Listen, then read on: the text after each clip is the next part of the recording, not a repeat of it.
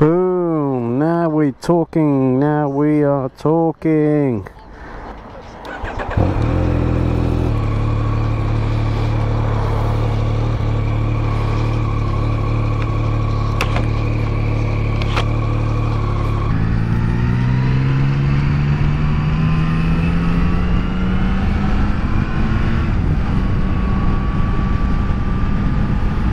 So, the first impression, yes, this helmet is really quiet.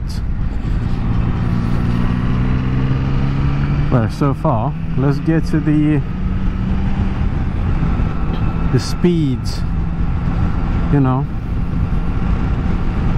motorway maybe. Hmm, should we go a little bit on motorway?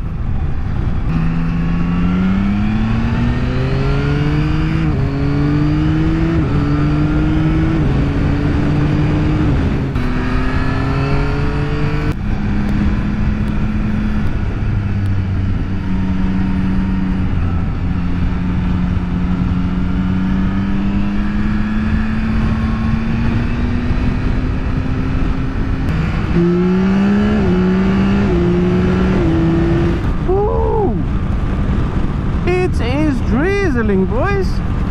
Ooh, we might have to come back. Ooh.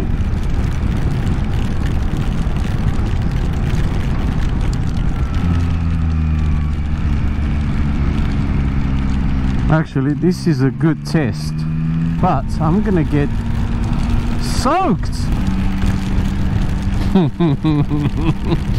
this is a fantastic test actually for this helmet.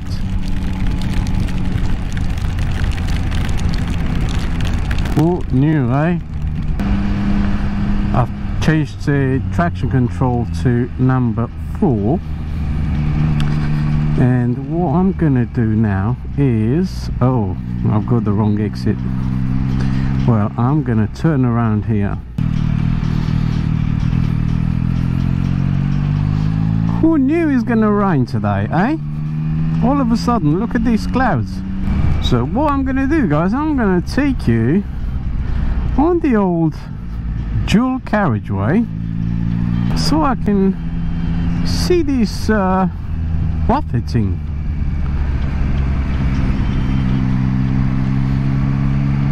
I mean, I've got a nice windscreen now, so I, I, it shouldn't be. It's not bad actually. This was a fantastic test for this uh, helmet. Really quiet and I haven't even put the screen all the way up. If I lift this up wow. I'll go all the way to Scotland like this.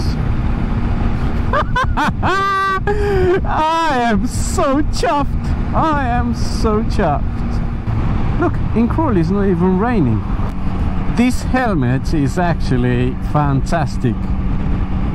I've got no buffeting. I love it. I am loving it. I am loving it boys. I am so chuffed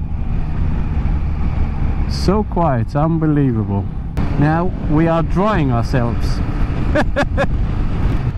This is so nice this is so nice.